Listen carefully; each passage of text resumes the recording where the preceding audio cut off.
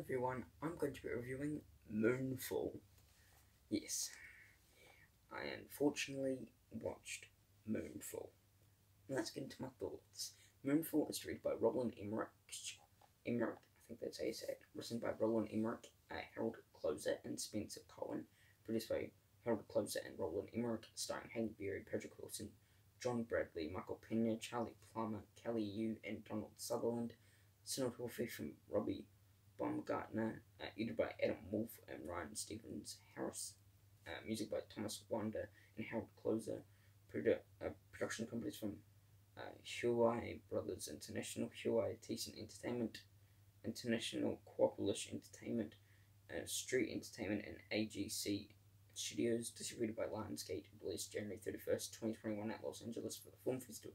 So for the uh, premiere, and February 4th, 2022, United States, and February 3rd, 2022, in my country, New Zealand. It ran for 130 minutes. The budget for this film is 138 to 146 million dollars. Into the box office, it got 10.5 million dollars. That is not good. Now let's get into my thoughts. Um, well, not my thoughts yet. I'm going to read the synopsis for this film.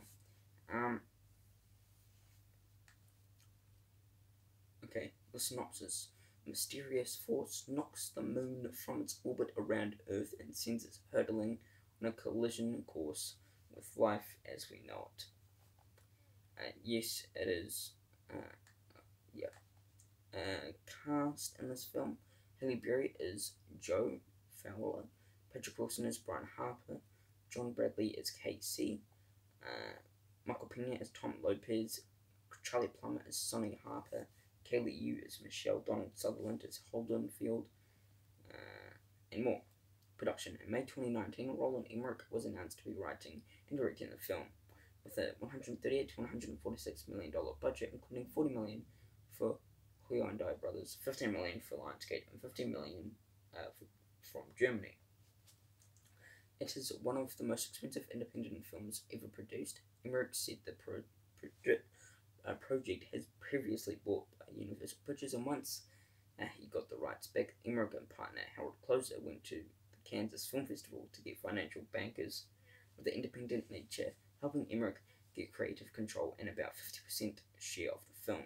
The idea came after reading Christopher, Noel, uh, Christopher Knight's and Alan Butler's novel Who Built the Moon, which uh, debated debated about the moon being an artificial construction, and the script was worked on for four years. November 2019, Lionsgate acquired the North American distribution rights, and AGC International acquired the international debut rights. In May 2020, Josh Gad and Halle Berry was cast with Patrick Wilson and Charlie Plummer added in June.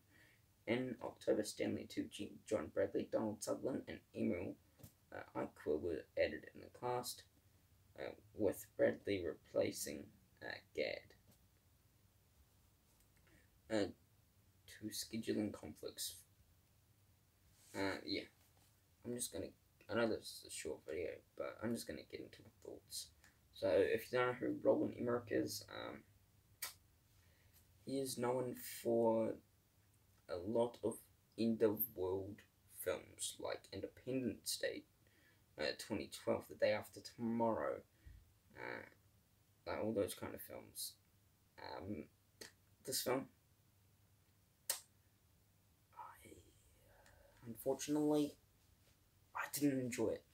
It did not come around to me to enjoy this film.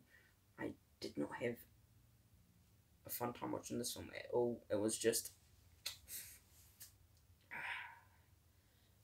I Was I looking forward to this film? Probably not. This was not a good film at all. Do I recommend it? No. Uh, people should stay away from this film. But if you like disaster films, probably you'll like it. Uh, but yeah, Moonfall was just not it for me. I mean, I like the cast. The cast was good.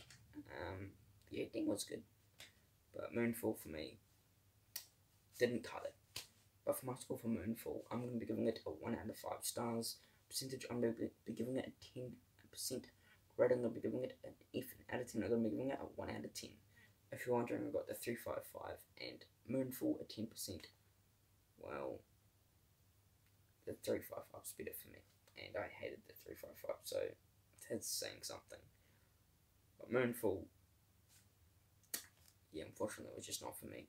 Um, but yeah, hope you enjoyed this review. Uh, please, please, please subscribe to my channel. It'll be a big help. Thank you for watching. Take care. Peace.